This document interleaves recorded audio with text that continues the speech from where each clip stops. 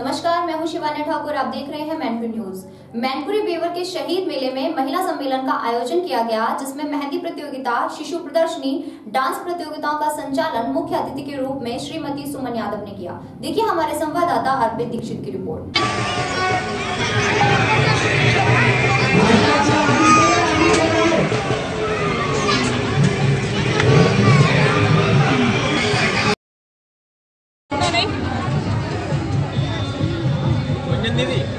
Photo मैं आपको send करती हूँ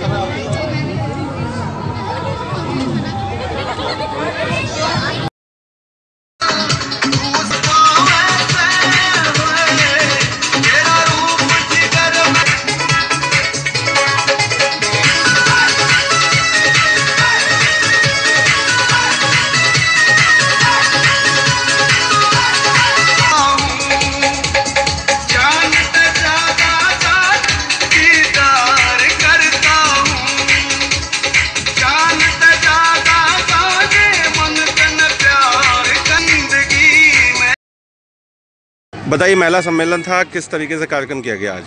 आजकल जो महिलाओं पे या बेटियों पे जो अत्याचार किए जा रहे हैं, उनके बारे में जो आजकल समाज के ठेकेदार बने हुए हैं, जो इतना अत्याचार कर रहे हैं, आजकल की लड़ाई, कोई आग लगाती है, कोई फांसी कोई जहर खाती इन सब का निवारण करके हम लोगों ने एक महिला सम्मेलन रखा है। इसी से हम लोगों का सबको जगाना चाह रहे हैं, महिलाओं और बेटियों को, जो समाज से निकल अपने बातों को सीखें और देखें कि क्या करना हमें क्या सोचना है क्या समझना है और जागरूक हों। क्या नाम आपका? आज महिला सम्मेलन किया गया किस तरीके से मुद्दे उठाए गए क्या सरकार को और समाज में आप संदेश देना चाहते हैं बताइए। सबसे पहले मैं सरकार को संदेश देना चाहूँगी क्योंकि सत्ताधारी पार्टी जो भी होती है उसकी ये रिस्पॉन्सिबिलिटी बनती है कि वो महिलाओं को सुरक्षा प्रदान करें। मोदी जी की सरकार है। मोदी जी ने बेटी बचाओ, बेटी पढ़ाओ का नारा बड़े ज़ोर शोर से दिया था। लेकिन आज आप देख रहे हैं कि सबसे ज़्यादा जो शोषण है वो बेटियों का ही हो रहा है।